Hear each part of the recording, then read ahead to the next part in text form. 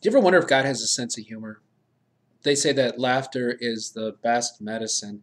I think we could all agree that laughter is the cheapest medicine anyway. But what about God? Does God laugh? If you would open up to Psalm 2, especially verse 4, you would see in there that God laughs. The psalmist says, The one enthroned in heaven laughs. Now, should you and I be comforted with that passage or not?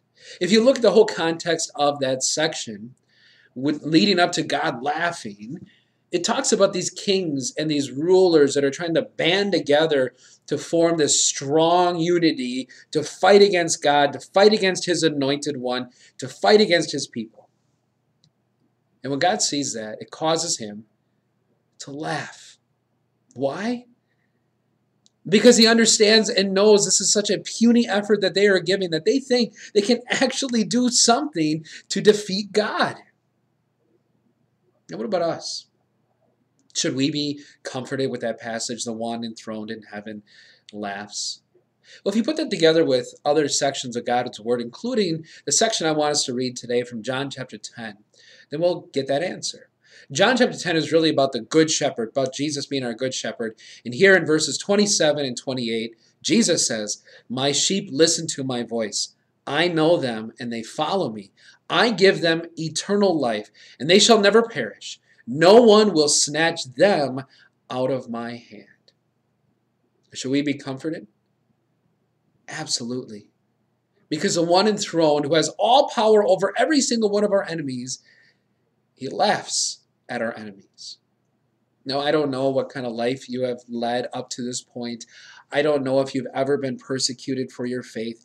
I don't know how often the devil will come I, I know it's often, but I don't know how often every day he comes to try to attack, to, to try to have something wrong go against you, to try to snatch you away from God and from his hand. I know it happens. And I know it can be very scary because we know that the devil also has power. But do you know what God does to the devil? He laughs at him because his power is so puny compared to your God's power. And God knows where you are. You not only listen to Jesus' voice and, and follow him, but Jesus gives you eternal life. He makes sure that no one or that you'll never perish. And for all those people that can snatch you away or think that they can snatch you away from him, God's response is simple He laughs. Does God have a sense of humor? Absolutely. I feel like it's going to be a lot different than just the Psalm 2 passage, the one enthroned in heaven laughs. I feel as though when you and I get to heaven, he's going to have a big smile on his face and we're going to be able to share some good laughter together. But when it comes to those enemies, as I mentioned, you and I are on the correct side of that laughter. They will continue to try. The devil will not give up. And throughout all of that, God laughs at their puny power. Have a blessed day.